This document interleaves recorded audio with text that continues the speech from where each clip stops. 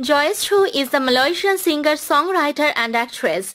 She has an older sister Joana and an older brother Joey who starred in some of her YouTube videos.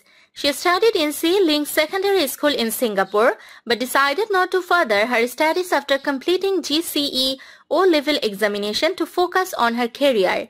In April 2020, she acted in the Taiwanese drama series I, Myself. She is one of the main cast in the self-healing themed series and acts in Taiwanese Hokkien. In May 2020, she participates in the Chinese girl group competition show Produce Camp 2020, where she is one of the two trainees from Southeast Asia. She successfully entered the final round and finished with ninth place. She gained fame with the song Malaysia Chabor, written by controversial rapper Namewee, who caused a stir for rapping over the Malaysian national anthem.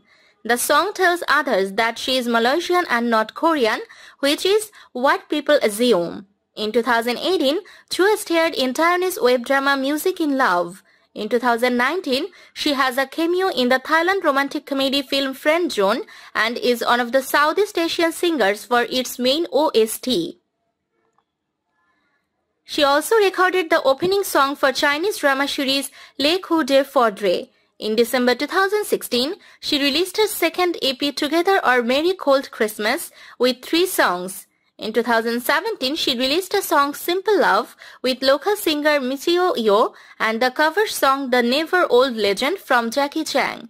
In December 2017, she released her first studio album Where It All Started with 10 songs. In October 2014, Chu released a song Your Little Round Hand for the 100th anniversary of Doraemon. In November 2015, Chu released her first episode, Joyce Chu, with three songs and started debuting in Taiwan. In May 2016, she starred in the Singaporean comedy film Young and Fabulous.